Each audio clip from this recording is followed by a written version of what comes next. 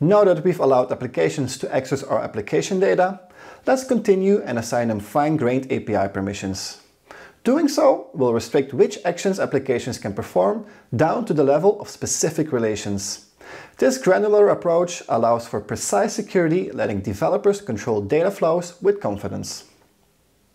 In the previous step, we gave applications access to our data as well next to users. And we've done this by creating a new application type and then defining an application within an organization and giving them admin rights.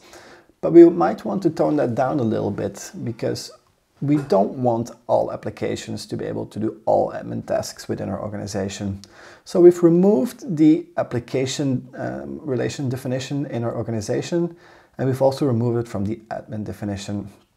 Um, but what we did do is add an application as a possible assignee to all of our permissions um, that we've defined for an organization. So can add admin, can create document, can add edit folders now can be either assigned to assignees of a specific role or to an application, which means that an application won't have access to any of our permissions, won't have any of our permissions until we explicitly define them as can add admin, can create document, and can edit folders.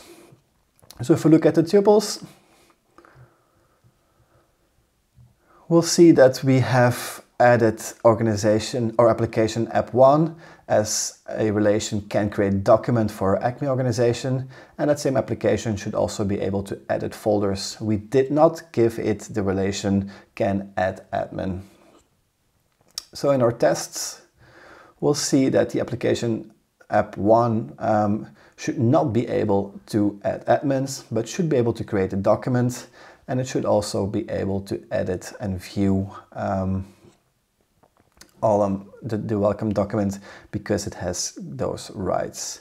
Application 2, on the other hand, should not be able to add an admin and should not be able to create any document because we have not given them the relation that they need to do so.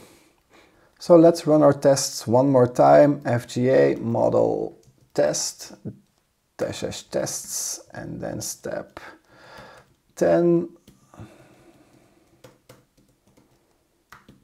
fine-grained access API, API access, and we'll see that all tests are passing and all checks are passing as well.